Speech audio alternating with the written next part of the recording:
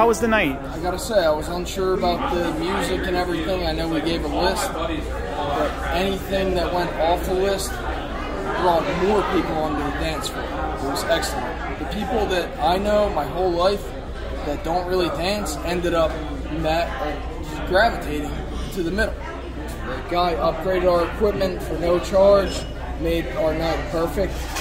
It was better than I could have imagined. Oh, thank you. Thank you for the nice Sir, words, man. course, thank you. man.